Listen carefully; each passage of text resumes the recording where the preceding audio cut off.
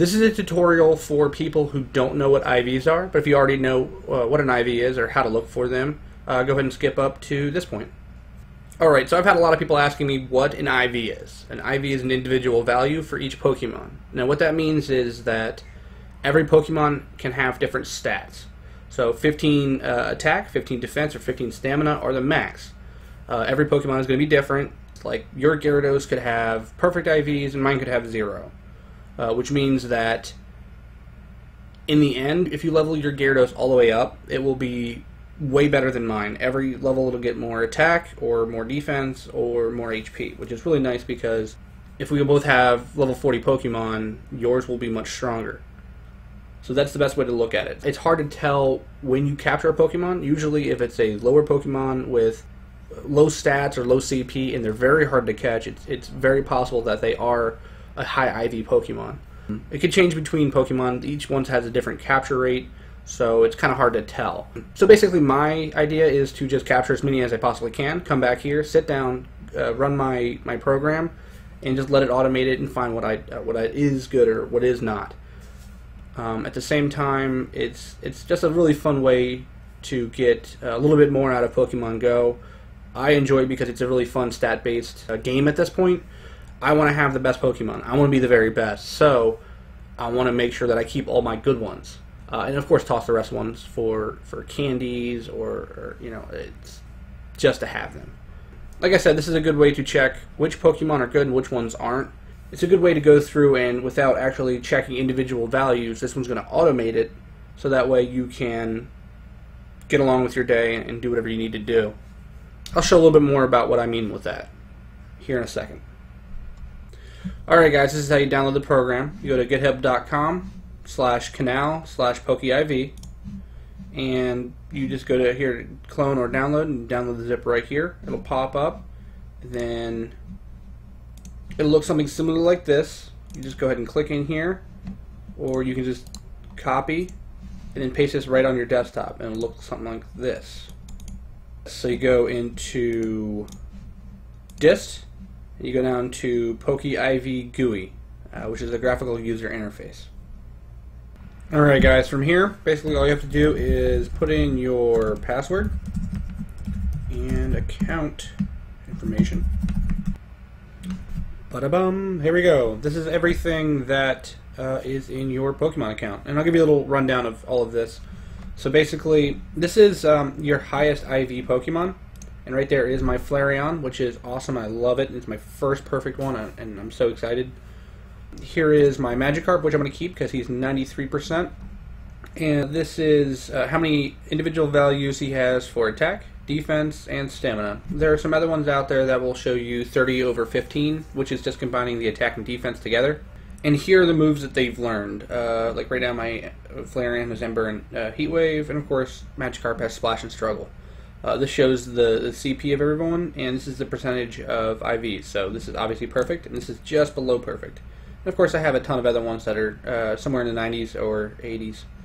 So you can filter out everything by just clicking these. So this is alphabetical. This is what, who has the lowest attack or highest attack, defense, stamina, uh, moves alphabetically, and then you can show which is your highest Pokemon uh, in CP or, or combat power. Um, right now it's my Vaporeon, Dragonite, and Flareon's right there uh, behind him.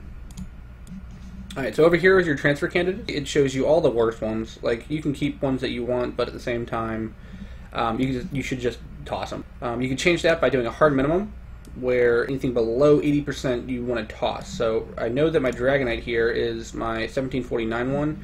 Do not want to toss that one because he's a really good combat one.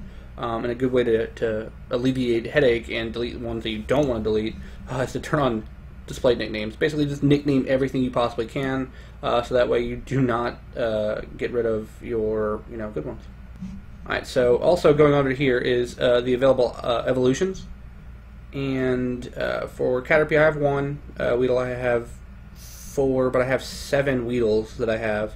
Um, Venonat I have at least one evolution that I can do, but I have eight Venonats and if I transfer out over here, I can have more. So this is kind of a cool count of as to how many you can actually do, which is really nice. And over here is your evolution candidates. They're usually the ones that uh, have the highest IVs, um, but also you know the ones that you actually want to evolve. There's nothing by uh, CP. You can always make it by CP. It'll show you which ones would be the highest CP, but at the same time, remember IV is the more important uh, stat. Uh, okay, so I have a Charmander here at 86.67, and I probably should evolve him, but at the same time, I could probably wait uh, to evolve a Charmander into a Charmeleon into a Charizard if I just wait to get 125 full uh, candies so that I can evolve them twice. But at the same time, um, this is a really nice one, but I could just wait and I could probably get something better. I mean, I'm going to be out there farming them, so there's a good chance that I'm going to get something above 86.67. So it's a good reason to wait. So let me go ahead and show you how to automate a couple things, which is really nice. This actually kind of helps out because you know Pokemon does take up a lot of my time, uh, unfortunately lately, and I have a lot of videos to edit and a website to run. So what I do nowadays is I will turn on display nickname and I will uh, do hard minimum, which everything like it'll show my highest IV Pokemon up here all the way down to 80%. As soon as I get to uh, that point, I know that I need to toss the rest of my Pokemon. Basically, at this point, uh, by forcing hard minimum and display nickname, uh, I see which ones I want to keep, my favorite ones, which I will nickname, or like uh, this one will rename them and, and, give me the actual stats so I actually know what they are. See, uh, so it shows here that I have 11 attack, right there, 15 defense, 15 stamina, and 91%. So that is the stats for this specific guy, or my Fearow, like whatever. Um, so I'm going to come down to here, and it's going to show me all of the Pokemon that I have between pretty much zero IVs and uh, you know 80. Like I said, I don't want to delete my Drogon or any of my like this is my Jolteon. Um, so what I'm going to do is I'm going to click all of them. Do do do do do. Come all the way down to here, but I'm going to go. I, shift clicked all of them, and I'm just going to control click uh, the rest of them off. So I'm going to keep the ones that I have uh, named because I know they are my favorite ones. Uh, I could probably toss him, but do do do. And now I just go down to here to transfer, and it's going to automate all of them, which is really really nice because now I can just step away, and it'll continue going through. Uh, it's all client based, so there's nothing that's going to be uh, server based. Um, you can do it while your your game is on, or you can do it uh, without it. It doesn't matter. It's still going to do it anyways, and you're still going to get all of your candies and all of your experience. Um, you don't get any experience from transferring out Pokemon, but you will get all of your your candies. Now over here, uh, this is going to change a little bit. Once it goes through all the automation, it's going to show through, and uh, you know it'll, it'll, change the counts. Like I could be getting rid of a Caterpie right here on, in, in this section, but I don't know because I don't really pay attention to it because they're all garbage anyways. It's probably like one of these or something. Over here, it's going to change around a lot of the information. I'm just getting candies at this point. I don't really care willy-nilly what I'm getting rid of then it's going to give me all of my candies. It's going to change my counts.